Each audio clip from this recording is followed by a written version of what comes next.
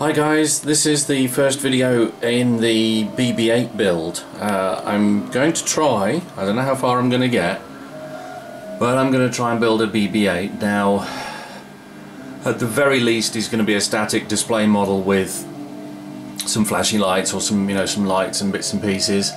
But hopefully, if I can get it all sorted, uh, he's going to be radio controlled, he will at the very minimum have um, lights, sound, um, articulated head. And if I can get the mechanics right he'll be able to roam around as well. Um, so we'll see. Um, at the moment what I'm doing is trying to make something as accurately as possible. I did get some bits and pieces um, and started making a rough very crude knock-up which I'll I shall show you some bits and pieces um, but I've bought a 3D printer. Not just for BB-8, but for my modelling in general, model builds I do. Um, but I'm also quite interested in moving into the, the droid building uh, because the the accuracy of the parts, as you can see from that drawing, are superb. So now a lot of the stuff I will have to design the insides, but um, things like this for example this is the first part of the head. Um, this is going to be uh, or rather this is this is from some um, CAD files that uh, I'm able to access via the BB-8 Builders Club. Um, so that's going to be one third of his head. Now this is my first 3D printed pieces. Now this this was in two halves. Well the, the antenna was in two halves and this pie section was also in two halves. Um, you see there where I've glued it together. All I actually did is I it, it, the part comes with some holes either side two either side. So I just used some cocktail sticks and made some little pegs and, and pinned it as I glued it to give it some additional strength. But the and I've rubbed, I've just sort of sanded it down primed it and painted it. But um, it really does mean with a 3D printer uh, you can do some superbly accurate bar, uh, parts.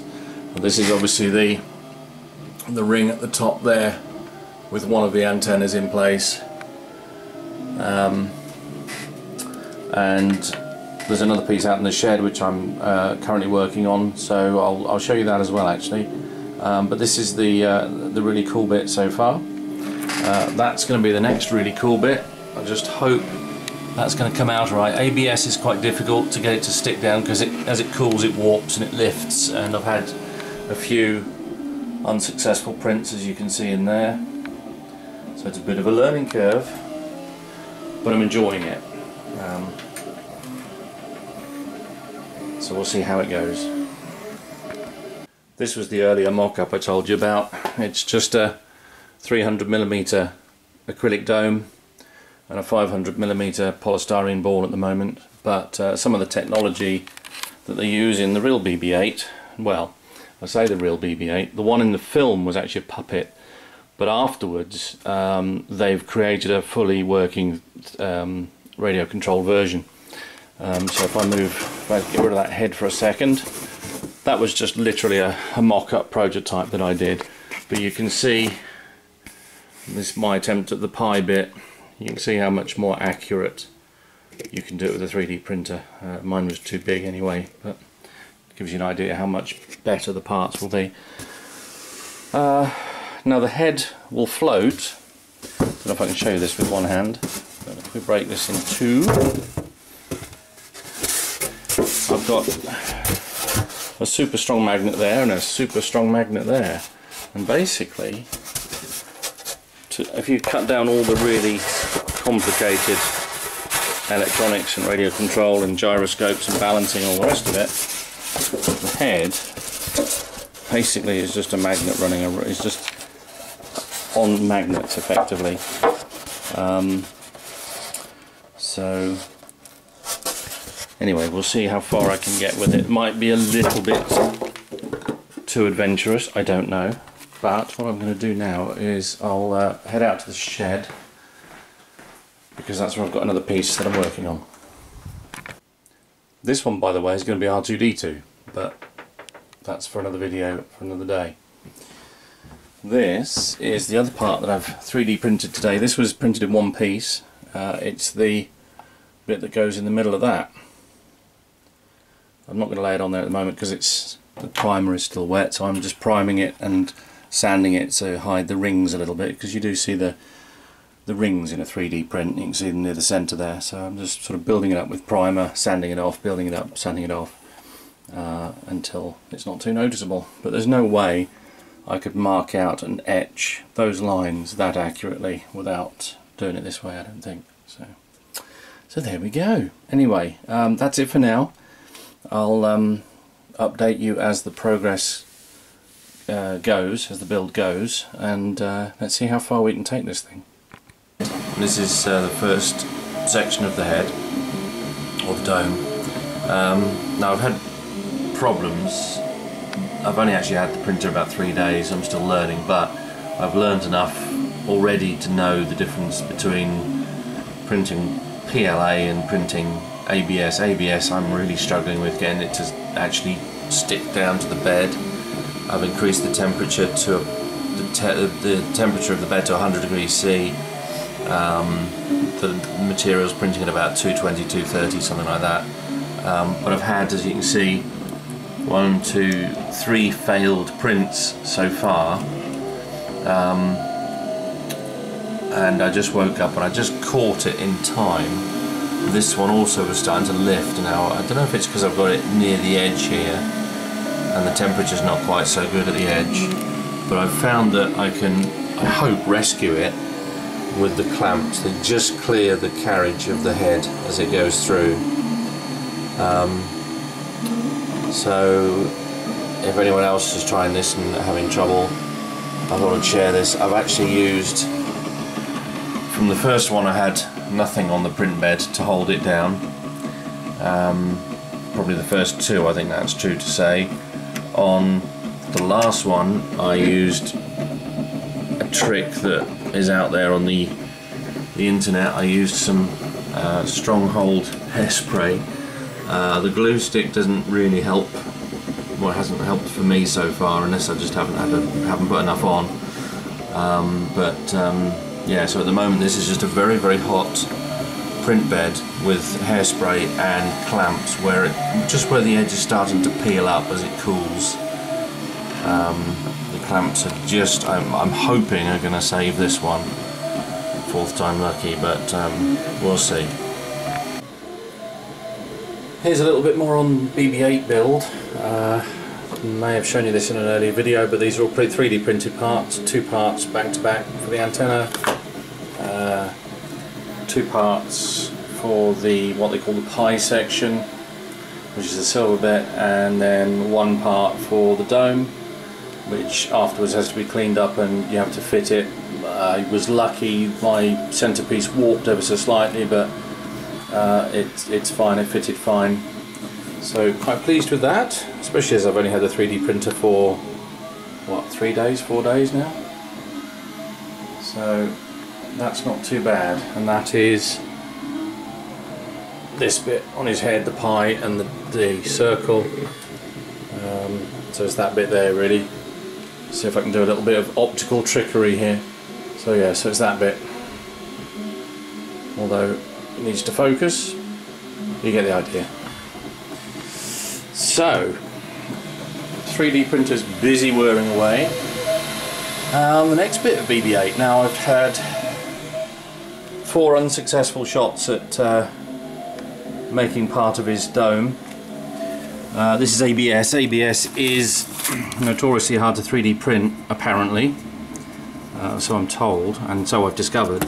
Uh, the problem is it warps as it cools, so the nozzle temperature is 255 degrees C roughly, and the print bed, the piece of glass that it sits on, is about 100. degrees. Uh, sorry, yeah, it's about 100 degrees C and what happens is as it cools you can see that end the, this right hand end started to peel up it just lifts away from the glass and turns up as it cools and then the whole thing goes skew if and that's what that's what happened there during the middle of the night so um, reluctantly I've started another one but this time I'm using different filament. I'm using PLA this time.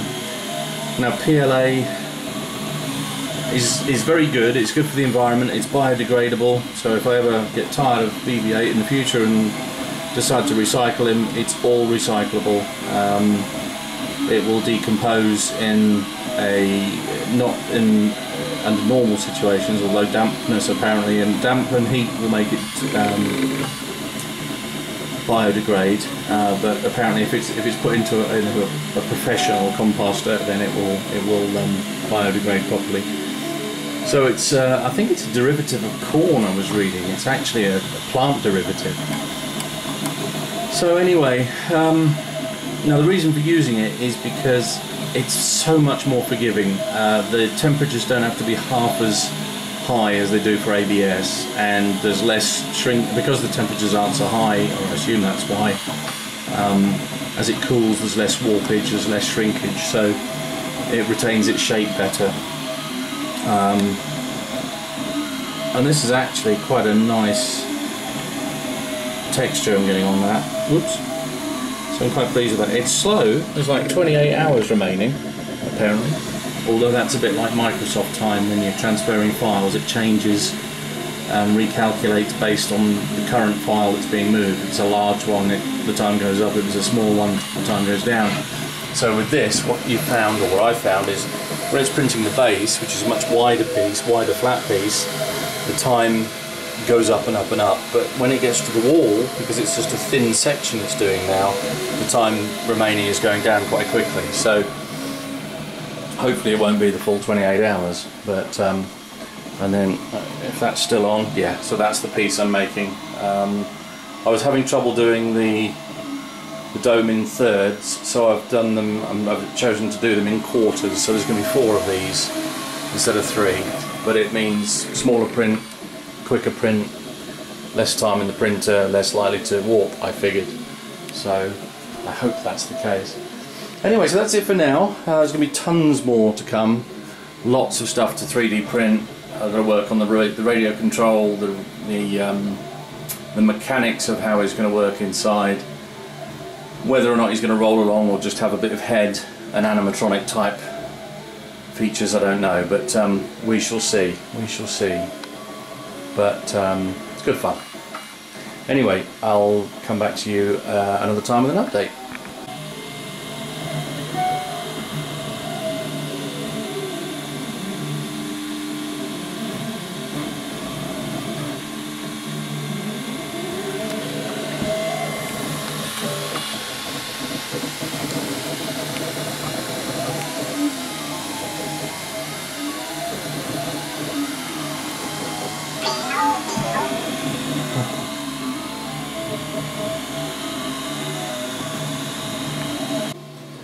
Hi all, this is the um, first real video on another project I'm going to be working on. Um, it's this little fella, except for it's not going to be a little fella, it's going to be a full-size, one-to-one scale RC radio controlled replica. Um, at the very least he's going to you know move his head around and light up and speak. If I can get the mechanics to work I'm going to go for a, you know fully radio controlled one that's going to roll around and, and, move around on its own. But that's mm, that, that's that's going to be hard work. The uh, the head, the rest of it is quite easy to do. Um, but as you can see, I've already started experimenting with some electronics here, um, sound cards and bits and pieces. Um, and this incredible little machine is my 3D printer that I've bought, so I can uh, make some really cool parts. This is part of the side of BB-8's head or dome.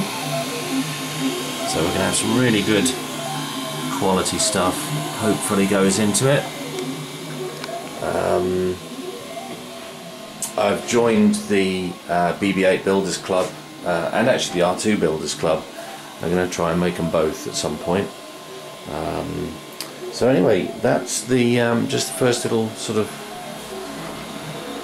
idea. Uh, I'll show you a couple of bits and pieces that I've made already. Um, so yeah, let's do that first. Okay, my my poor house is turning into a, a model workshop. Unfortunately, this is the uh, the X-wing that I had a series of videos on, which is now um, sold. I'm waiting for customer to come and pick it up. The Falcon you'll know about from my Falcon series builds.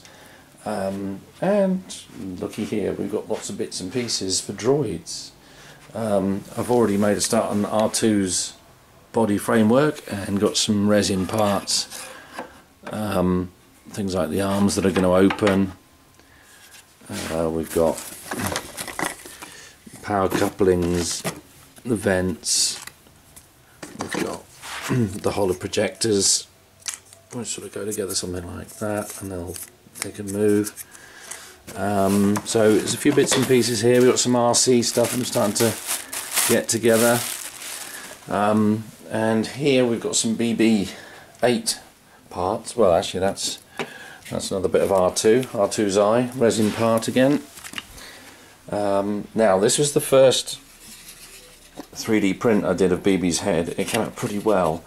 now, there's two sets of files um, that you can get from the BB-8 Builders Club, um, depending on the size of the 3D printer. Now, I printed this because I was having trouble getting my first few prints to stick to the to the print bed. Um, if you use ABS, for example, it tends to shrink as it cools, so it warps and it sort of pulls off the bed, and you, you end up getting a lot of failed prints. So this is PLA, which is completely biodegradable in the future. If I ever throw these parts out, they can all be uh, properly uh, recycled or biodegraded, if that's the right word. Um, this is the top of his head, the pie section as they call it, and then the uh, the dome. We've got one of the antennas on, which fits something like that. But then I decided, because there was a little imperfection on the bottom here where I've started to fill it and flatten it, um, I thought, no, I'm going to do it again, and this time we'll go for the, the larger pieces. So this is one third of his head, which again, 3D printed part out of PLA. Um, and then other bits and pieces. This is very close. It's not right. It's very close. This is 100 mil diameter. Uh, I've actually ordered some plastic, um, they're Christmas tree baubles, they're 80, 80 millimeters or 8 centimeters in diameter and they come in two halves and you can open them up and put bits and pieces in and you hang them on the Christmas tree. But it just so happens they make a perfect eye for BB. This one's slightly too big so uh, the 80 mil ones when they get here they're going to be perfect. So it's begun. Um, the models that I've been building, I'm still going to be doing models. I've got, uh, uh, in fact, the, the customer's bought the X-Wing here. Uh, I did the custom stand for it. Uh, he wants me to build two more, so I think he wants me to build him a Voyager and a Defiant at some point. Um, so that'll be doing. So I'll be doing the, the, the, models in between, but I'll also be doing a bit of droid building. Um, big learning curve in lots of ways. The electronics, um, these two are going to be radio controlled. Uh, they're going to have some movement. They're going to turn heads. They're going to, you know, turn their heads, not turn other people's heads. Although they might do that as well, hopefully. Um, and I've got some uh, pre-recorded sounds that I've also uh, started processing. Um, for example, I've got them on my phone at the moment, but so we've got uh, lots of sounds for R2 and I've also got uh, lots of sounds for um, BB-8 as well. These are the ones that would be have been effectively copied from the um, Sphero toy.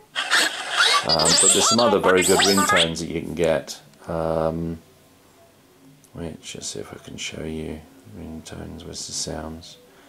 and again if I can copy these I might be able to use them and trigger them uh, via remote control uh, da -da -da, where's sounds gone there's sounds so if we look at for example the text tones we've got some BB-8 ones down here so we've got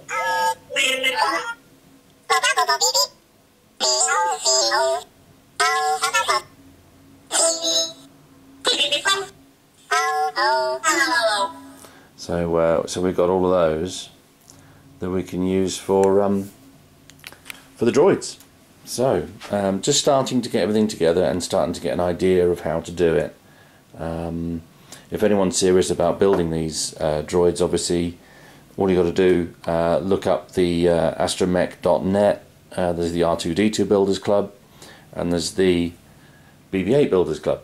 Um, you can basically you can join and all the STL files for the 3D printers and the plans and the PDFs and the blueprints and everything are all free. You can just download them, but there are some there are some club rules. Um, you know, you're not allowed to. I can't, for example, start printing these by the hundred and start selling them off. They'll very very quickly throw me out, um, and that would ruin it for everyone else in the club. You're not allowed to do that. Obviously, Lucas Arts and uh, sorry, George Lucas is. Um, Lucasfilm and uh, obviously Disney would be uh, all over people if they started doing that. So that's a that's a no no. You're allowed to help people build their own. Uh, you can build, you can print things for people as long as, and you got to ask. You're you're allowed to ask a little bit to cover uh, you, you printing costs, basically stuff like that. Uh, but there's absolutely no way you can start making a production line of these things. It would be a big, big no no. Um, but as I say, it's free to join, so you can you can join and, and do your own, and there's people there who will print stuff for you, etc. So uh, it's very very good. They've they've done an excellent job with you know the drawings, the 3D CAD files for these. It's just fantastic. This needs a little bit of soothing, uh, smoothing. Sorry, you can see if I can get it. I don't know if you can see actually in the light. You can just see the grain in this um, where it's been printed. But uh, what I've got to do is, is effectively glue the three parts together. Um, the drawing comes with little holes in there so you can peg it uh, and make quite a good bond. If you use ABS, obviously you can chemically weld it with acetone. Um, but this is PLA, which you can use um, CA or superglue cyanoacrylate on. Um, and you can use a sort of paste version, gel version of it, uh, which will help get nice seams down here so, anyway, just a little bit of a sneak peek um, of what you can do, or what I might, what I'm going to try and do. I wonder if I can show you this. This is interesting. Uh, that little blue thing is just a very cheap £12 I think it cost me uh, USB speaker so if I now go to the phone and go into music and I go to my where I've made my little folders of sound effects.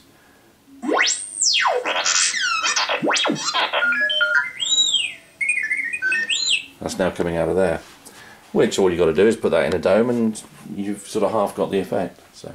Anyway that's it for now. Uh, I'll um, do a little bit more uh, probably before I finish this video show you a little bit more progress um, and um, come back to you soon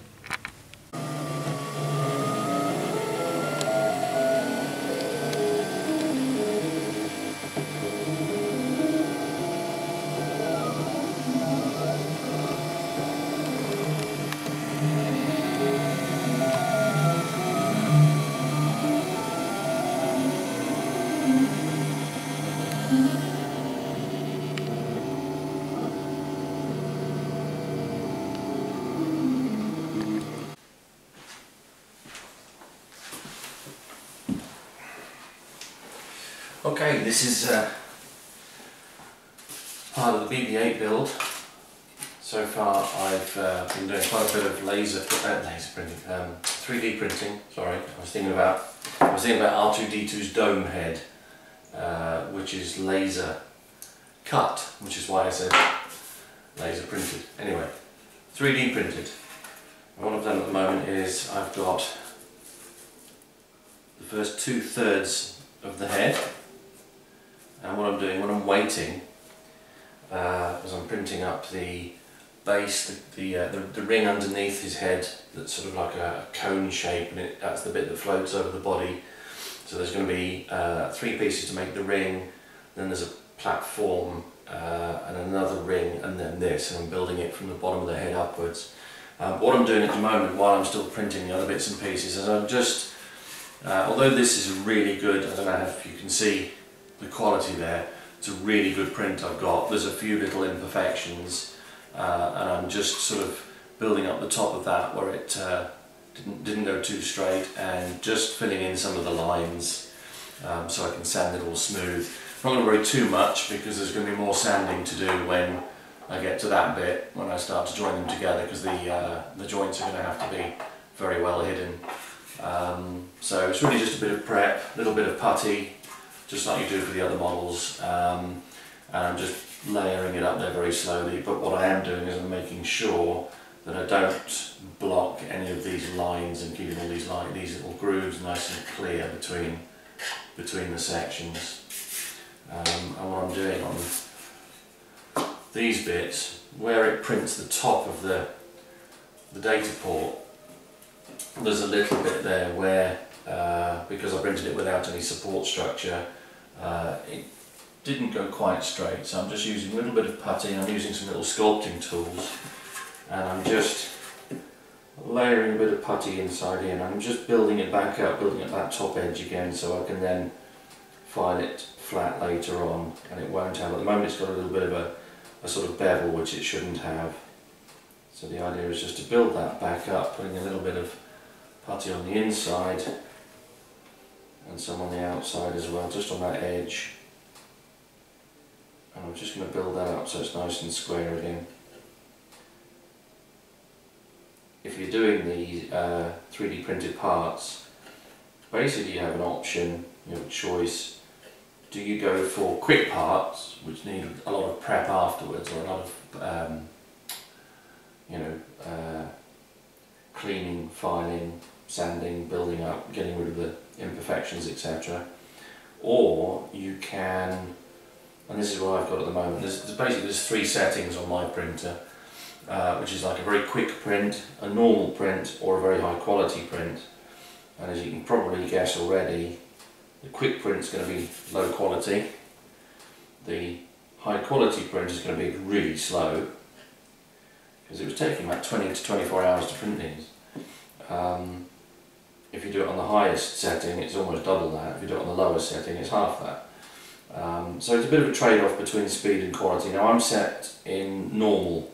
The normal profile is what I'm using. So idea being that it's it's going to be a nice compromise between speed and quality. That's what I'm that's the plan anyway. And so far it's not too bad. I've got a, I've got another little piece. I've done the head bit already, but that's going to be held on by little magnets, so I can get my hand in there to do the LEDs and do the electronics, turn the switch on. Because unless I do a Bluetooth link between the head and body, obviously there's no connection between the two. Um, so that connection has to be wireless, uh, unless you run them as two totally separate items. But uh, uh, we'll see how that goes, but you, you still need access. And there's some, little, there's some little holes here, which I initially thought were for putting a peg through, so you can glue things together like they've done here. You've got holes here for pegging the two pieces together to give you some strength, uh, or to give you some more strength, I should say. But um, no, I was wrong about these. These are actually for little tiny magnets, and then you put the same ones in the top half, and then you can just pop the lid on and it'll hold, and take it off to gain access later on. So. I've actually got to fill these back up because they should be recesses, not holes. So I've got to fill these back up on this side um, so I can put magnets in. So um, it's very easy to get carried away on this actually and just get started and get carried away with this 3D printing because it's really good. It's really good fun. It's amazing to watch the pieces build up. But um, I did notice yesterday. I found out it is worth it is worth stopping, slowing down, and just reading the instructions because there's a lot of guys in the BB8 building club that have done this before. They've been doing it a while and they've learnt a lot. So rather than just getting carried away and going for it, it is better to sit down and read the the instructions that they've done and they can advise you on the best ways to go about it. Like for example, head printing from the bottom up instead of the top down. I think that's going to help with getting everything lined up. So, um, so yes, there's lots of information there, so do use it. But um, I just thought I'd show you the progress so far. It's very early on into this build, but uh, the 3D printer gives me the confidence to to know that I can make some really good quality parts, and it's going to look the you know it's going to look the part. So um, there we go. I'll um, catch up with you a bit later.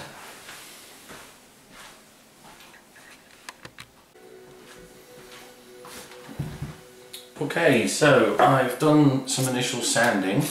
Let me just put the light on for you. It's a bit dark in here. Okay, I've done some initial sanding and what I've done is just put a couple of coats of coats of primer on which will do a couple of things. Uh, one it'll help when I paint it white it will help these lines stay nice and dark and accentuated. Um, and the other thing it will do is it will help me build up a nice smooth surface because uh, as you may have seen if you saw a close-up earlier the 3D print leaves some very very fine lines. Um, if you've got it set on quick print it leaves some big big quite big lines but um, the higher the quality the less work there is to do afterwards basically but the slower the print so uh, so yeah so I'm going to do the same again now rub it all down smooth it off with sandpaper put a bit more putty wherever it's needed uh, smooth it down, prime it again, a few more layers, and then just keep rinsing and repeating that basically until I get a really nice, uh, really nice look on it. And that gives you an idea. It's not sitting flat at the moment, but uh, obviously at, at, at a later stage, when I get all three, they'll be sealed together and hopefully look pretty good. So that's it for now. I'll see you later. This is a bit of a BB-8 build. This is the dome skirt that sits at the bottom of the head and the bit that floats over the body. Um, I'm waiting for some CA gel to come um, for most of the joints but in the meantime I've just used um, some 5 minute epoxy to do these joints. I've got a nice dry strong solid joint, it's nice and flat. The only hard work is cleaning up the joints afterwards. Um, there's a lot of rubbing down to do done quite a bit of that one. That one's not looking too bad. So it's just a case of rubbing down the excess blue, then a little bit of filler, primer filler, that sort of thing, and rub it down until it's all nice and perfect really. So there you go, that's uh, the first three parts actually stuck together for the, um, the dome skirt. Catch up with the BB-8 build. Um, got a few bits and pieces printed here, obviously got the two halves of the head, top of the head, that's the right diameter to make the eye, it just needs cutting down at the back, but that's uh, basically what they use, 80mm clear sphere. That was a nice little print, that's come out very well. That's 3D printed and just uh, a little bit of paint. And that's the holo projector. Um, and then we've got the PSI, which I think is basically this, this, which is the speech light, pops on when it makes a noise. That's got a bulb in there already or LED in there and that's the fitting that will go behind. There's a lens to print to put in there. Logic displays which will be lit up. Uh, this is all part of the inside neck arrangement inside the sphere because the head will tilt and rotate. Um, so uh, that's those bits and I'll come back and show you some more. This is going to be a third of the base of the head. Uh, the dome plate I think is its correct title. That's what's that got? It's got another three hours to go. It's going to look like, I can show you, it's going to look like that. Three of those. And the small bits and pieces in the shed which I can show you in a moment.